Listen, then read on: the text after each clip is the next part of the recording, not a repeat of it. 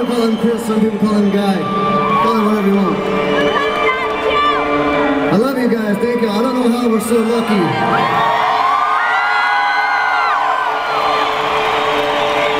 I have the greatest fans in the whole world. Whenever we started this band, we never, we never imagined that we'd ever leave our, our small town.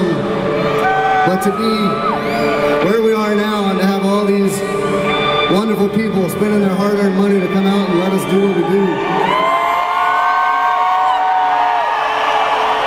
It, it truly is an amazing thing and we're very blessed and we never take it for granted. God bless you all. Thank you for all you've done for us.